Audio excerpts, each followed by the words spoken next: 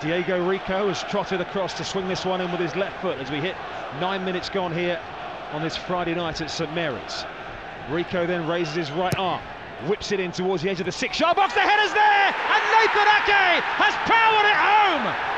The Cherries from their first set piece break the deadlock at St Mary's, and Nathan Ake in the right place so often, is there with his head inside 10 minutes. The Cherries in front.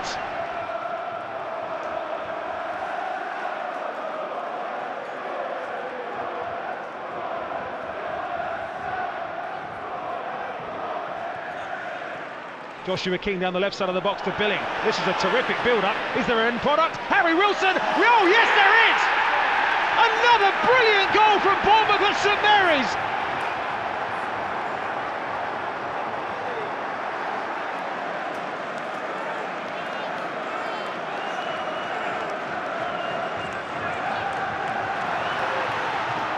And now some space for Che Adams on the left-hand side here for Southampton. This one is swinging end to end.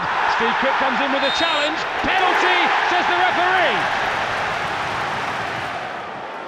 Southampton with Ward-Prowse can halve the deficit in this derby game. Here he comes now, and he does score. It's a good penalty.